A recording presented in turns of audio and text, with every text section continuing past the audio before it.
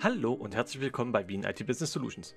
Mein Name ist Benny und heute zeige ich euch den Nachfassen-Workflow im WKS ERP-System.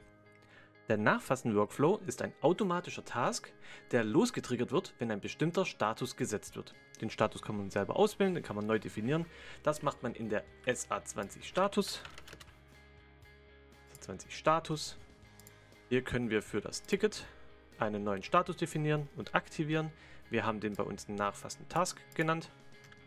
Und in der SI20 können wir den in der Workflow-Verwaltung definieren. Das heißt, der Workflow startet, nachdem der Techniker äh, das Ticket auf den Status Nachfassen Task gesetzt hat.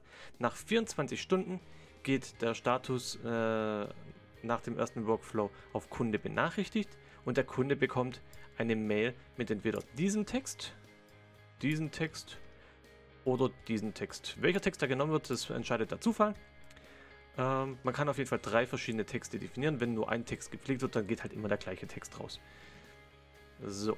Dann nach weiteren 48 Stunden, sollte, wenn der Kunde sich nicht darauf gemeldet hat, auf die Mail, äh, nach dem Motto, hey Moment, mein Problem ist noch gar nicht behoben, ähm, dann geht das Ticket ja, äh, ja wieder auf, wenn er sich da der Kunde meldet. Und wenn das nicht passiert, dann äh, nach 48 Stunden geht das Ticket dann automatisch auf den Status abrechnen bekommt die Zuständigkeit von demjenigen, der die Abrechnung übernimmt. Das kann äh, ein globaler Disponent sein oder auch ein bestimmter äh, Techniker, ein bestimmter Mitarbeiter. Und die Priorität nach dem zweiten Workflow bekommt in dem Fall Express. So sieht dann eben derjenige dann gleich, dass es hier ein Ticket zum Abrechnen gibt. Der Kunde hat sich nicht mehr gemeldet, obwohl man nochmal nachgefragt hat.